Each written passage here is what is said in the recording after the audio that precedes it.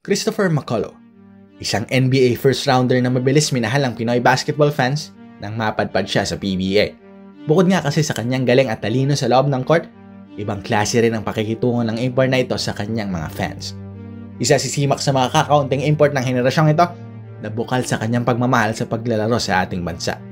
Kamakailan nga lang ay nagpost ito ng Gilas jersey sa kanyang Instagram account. At syempre, maraming nagulat dito kahit na matagal naman ang nagpapahiwatig ng interes si Makolo na maglaro para sa ating national team. Kung tutusin, isang komperensya pa lang naman ang tinagal ni Simac sa PBA. Kaya bakit nga ba ang bilis gumaan ng loob ng mga Pinoy fans sa kanya? Yan, kasama ang sagot sa tanong kung gaano kagaling ang import na ito, ang hihimayin natin ngayon. Magandang araw sa inyo mga sir, ako nga pala si Chad.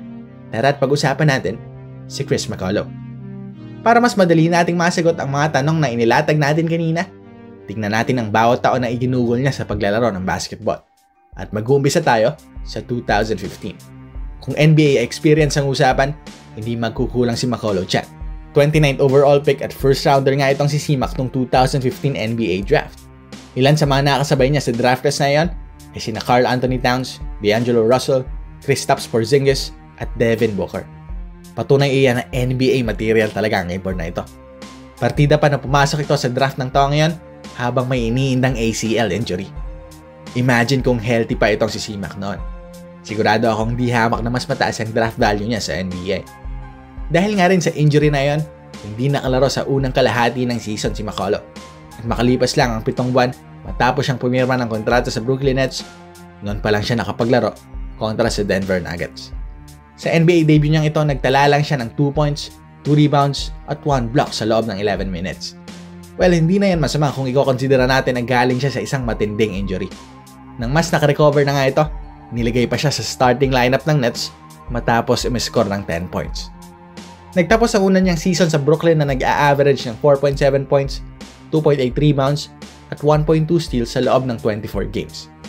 2016 naman naglaro siya para sa Long Island Nets sa NBA D-League. Sa sumunod na taong 2017 na-trade siya kasama si Bojan Bogdanovic papunta sa Washington Wizards. Forgettable ang naging stint niya dito dahil dalawang games lang ang nilaro niya at isang free throw lang ang naipuntos niya.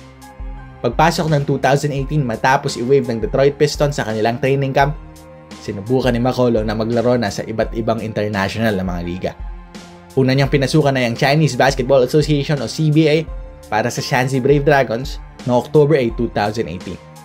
Dito, di hamak na mas nagagamit na siya at mas produktibo kung ikukumpara sa stint niya sa NBA. Halos doble ang playing minutes niya dito at close to double-double ang kanyang output bawat laro. Sa kabila nito, bumalik pa rin siya sa NBA G League sa sumunod na taon upang subukan muli ang pangarap na makapaglaro sa NBA. 2019 din lumipad naman siya papuntang Puerto Rico para maglaro sa Brewers de Guayama kung saan nag-average siya ng 16.3 points at 9 rebounds. Sa mga puntong ito, sa halos limang taong paglalaro niya ng professional na basketball, may isang malaking kulang pa sa karera ni Simak, ang magkaroon ng kampyonato. Sa lahat nga kasi ng ligang sinalihan niya, Di pa kailanman siya nakatikim ng kahit ni isang titulo. Ngunit ang masakit na katotohanan ito ay kaagad nagbago nang pumasok siya sa senaryo ng ating pambansang liga. July 2, 2019, pumirma si Makolo sa San Miguel Beerman para palitan ang kanilang go-to import na si Charles Rhodes. Naramdaman na nga kasi ng management ng SMB na hindi na makakasabay si Rhodes sa mga import ng komperensyang yon. Lalong-lalo pa sa NBA veteran na si Terrence Jones ng TNT Katropa. Ang pagpasok nga ni Jones sa PBA ang nagbigay ng ideya sa SMB na magpasok rin ng isang NBA caliber na import. At dito na nga umeksena si Sima. Sa unang laro niya para sa Beerman, nagtala kaagad siya ng personal career high na 47 points.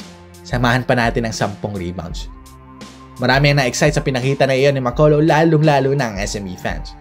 Hindi lang dahil panalo sila sa game na iyon, kundi dahil din sa wakas ay mukhang may makakatapat na si Terrence Jones. Naging selling point din ng komperensyang iyon ang dalawang halimaw na imports na ito.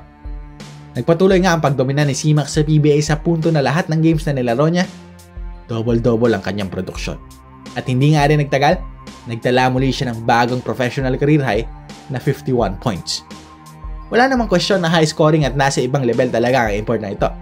Pero ang lalong nakakamangha dito kay Simac, kahit nagaano kahalima ang numerong tinatala niya para sa SMB, hindi natin kailanman siya nakitang sumobra sa kayabangan. Si Simak yung tipo ng import na hinahayaan ng performance niyang magsalita para sa kanya.